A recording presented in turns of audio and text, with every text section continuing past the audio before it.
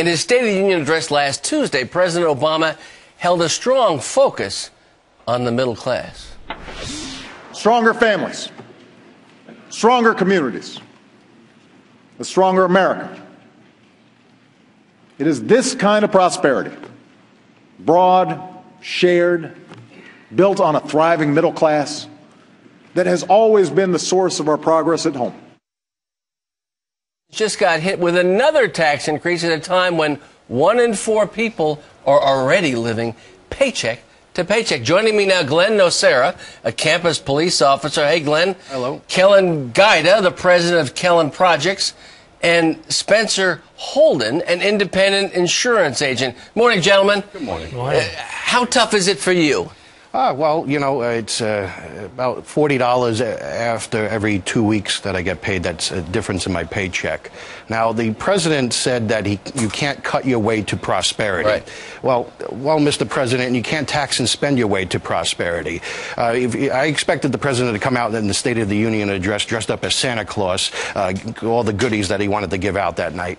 Uh, we have. So, how does that make you feel that when you're, you, you're taking a, another uh, hit in your paycheck Sure. When you see this? It, it, it disgusts me because uh, you, you see the economy the way it's Right. going towards. You have the uh, uh, uh, the growth rate at a 0.1 percent growth compared to a 3.1 percent growth from the prior quarter. You have uh, uh, Social Security tax went up like 4.2 percent to 6.2 percent. It's it's hurting Americans, and we we can't uh, afford this. And, and Kellen, right you, you're making more than, than Glenn.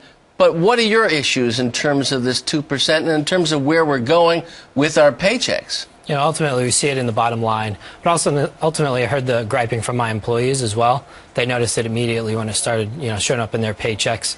Ultimately, you know, you, what you have is, you know, Obama and Pelosi and the Democrats are talking about a middle class.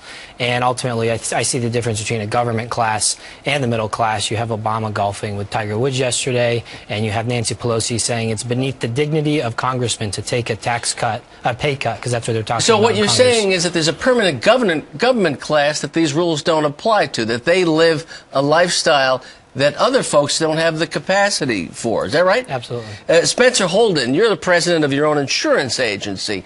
Are you seeing it with yourself? Are you seeing it with your customers? What are people feeling when they're trying to scrape dollars together to get homeowners, auto, all kinds of insurance that they need in their lives? Everybody's seeing it, and as a trusted choice independent insurance agent, I work with about 3,000 families on their home and auto insurance, and people are suffering. Every day I have a conversation with another client who is desperate, desperate to reduce their cost. And interesting in my business, we're seeing losses go up because people are deferring maintenance. They're not buying new tires on their cars, they're not putting new roofs on their houses.